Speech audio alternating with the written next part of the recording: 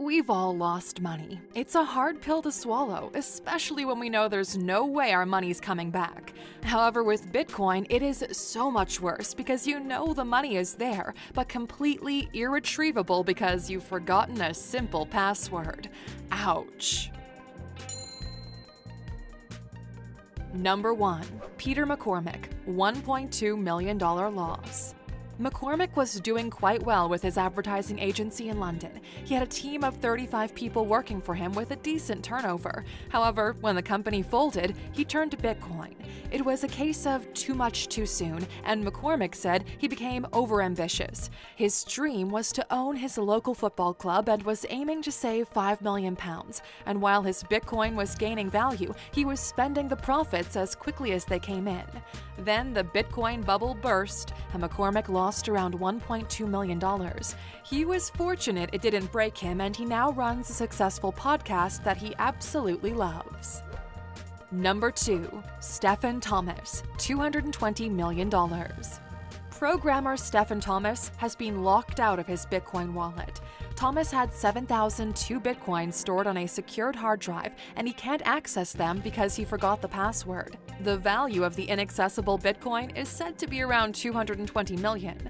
The coins were stored safely with an IronKey device that gives you only 10 chances to enter the password correctly. Thomas had tried several times with no luck.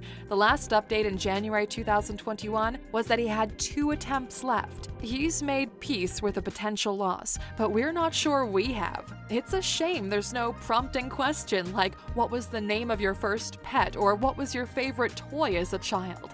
Fortunately, though, you don't need a password to subscribe to our channel, so be sure to do so, Aluxers.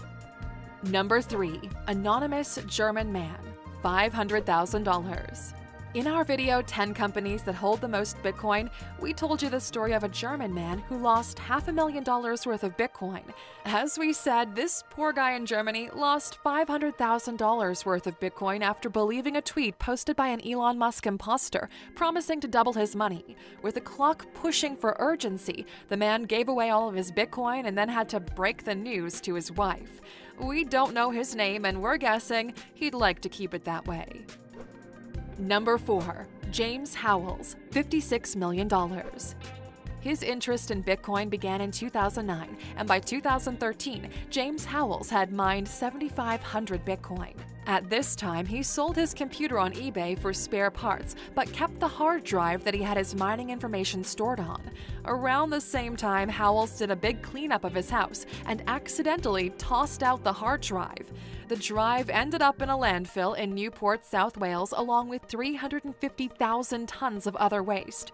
Despite his best efforts, he hasn't gotten permission to search for the missing drive. In his words, shit happens. Number 5. Matthew Mellon, $500 million. Banking and money are in the family of Matthew Mellon, as he is a direct descendant of Judge Thomas Mellon, who founded Mellon Bank in 1869. Matthew Mellon was chairman of the New York Republican State Committee's Finance Committee. He took an avid interest in crypto and spent around $2 million on Ripple. Mellon's XRP is worth around $1 billion, but Aluxers, there's a massive problem. Mellon died in Mexico in 2018 and has stored his private keys in cold wallets across the country. To this day, the coins are still exactly where he left them. Number 6. David Stubley, $475,000. Founder of Seven Elements cybersecurity firm, Stubley is a perfect example of what not to do when trading crypto. Stubley had his Bitcoin wallet accessed by fraudsters by clicking on a phishing link. Of the 84 Bitcoin he had, the thieves left him with one. When this happened in 2017, their value was $475,000. Apparently, it was possible to trace where the Bitcoin went, ending up in a wallet containing $15 million in currency. Although the fraudsters could not be identified, the wallet was frozen, which meant the funds could not be accessed. The funds today would be worth over $3 million. And Aluxers, if you want to ensure this does not happen to you, we suggest you check out our Bitcoin Essentials resource that we believe is the best for blockchain and Bitcoin knowledge, especially if you're just starting out. Go to alux.com slash Bitcoin and enroll now. Number 7. Mark Frauenfelder, $30,000. Okay, we get it. 30k isn't much in comparison to others on this list, but it's a tidy sum of money and most people would feel that pinch of losing it. Co founder of Boing Boing, Mark Frauenfelder, gives his age old blame the housekeeping service for the loss of his password, but really he should have been more careful. He admits he wrote the passphrases and PIN down on an orange piece of paper, left it lying around, and the housekeeper tossed it. Frauenfelder was so desperate he even tried hypnotherapy to remember the digits. Long story short, he's one of a few lucky ones. Trezor, the hardware wallet where he was storing his coins, did an upgrade. He followed a Reddit thread and found out that people were able to exploit the update. It took a lot of effort, but he successfully managed to retrieve his PIN, passphrase, and his 7.4 bitcoins. Number 8. The Winklevoss Twins, $600 million. Now, before you lose your shit, the Winklevoss twins are worth around $1 billion each. Tyler and Cameron Winklevoss got their claim to fame when they sued Mark Zuckerberg, accusing him of stealing their idea for the social media platform. They won a $65 million settlement from the lawsuit. It's said the twins bought 120,000 bitcoins, which is roughly 1% of all the bitcoins in circulation. You know how the figures fluctuate, but at one stage, their bitcoin was worth $1.3 billion, while others suggested as high as $2.34 billion. They're now worth around $720 million. It doesn't seem an amount that will plague the brothers that much. Tyler and Cameron Winklevoss told CNBC they believed Bitcoin could reach as much as $500,000 within the decade. Number 9. Gerald Cotten, $190 million. The story of Gerald Cotten has many holes. It's secretive, mysterious, and needs a super sleuth to solve. VanityFair.com starts the tale off like a novel. When Canadian blockchain whiz Gerald Cotten died unexpectedly last year, hundreds of millions of dollars in investor funds vanished into the crypto ether. But when the banks, the law, and the forces of Reddit tried to track down the cash, it turned out the young mogul may not have been who he purported to be. Cotten was the founder and CEO of Quadriga, Canada's dominant Bitcoin exchange. He ran the company from his MacBook Pro. Cotten struggled with Crohn's disease and in 2018 was said to succumb to complications from the disease. There is speculation there might be more to the story. Cotten had crypto worth $190 million, owing to 115,000 customers, and to date, the data has not been accessed and the case remains unsolved. Number 10. Alex Jones, $562 million. You might recognize the name and face, and that's because Alex Jones is the host of InfoWars and The Alex Jones Show. Jones is no stranger to a little conspiracy theory, so he would have loved the story about Gerald Cotten. He was given a laptop by Bitcoin proponent Max Keiser containing 10,000 Bitcoin. At the time, Jones was super skeptical of Bitcoin, so he didn't give it much attention. When Bitcoin started gaining momentum, he tried to find the laptop, and of course, it's gone, never to be seen again. Number 11. Elon Musk. In our video, The Top 10 Companies That Hold the Most Bitcoin, we mentioned that Tesla owns $1.5 billion worth of Bitcoin. And Aluxers, while we can't provide you with the exact figure, Musk lost his position as the world's richest person when he lost over $15 billion net worth in one day. This was due to Tesla's shares plummeting more than 10% after they invested $1.5 billion into Bitcoin. Number 12. Derek Rose, $10 million. In his own words, Rose said, I lost more money in Bitcoin than most people will earn in a lifetime.